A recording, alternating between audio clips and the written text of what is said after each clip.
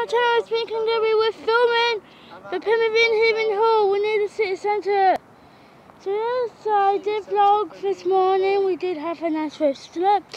So we are going to go to McDonald's for shortly to get our tea. Um, it's really nice how we had it. I. I'm going to reception next to Film Fair. I will be posting a room video, plus you'll be seeing my McDonald's. And of course, uh, St. Key, St. Princess Quay, uh, which is a food city centre. We're going that way later on. So yeah, we're in We're Hull. going to the city centre. We're going to go down to the. Right, right, right, right, right, right. Shh.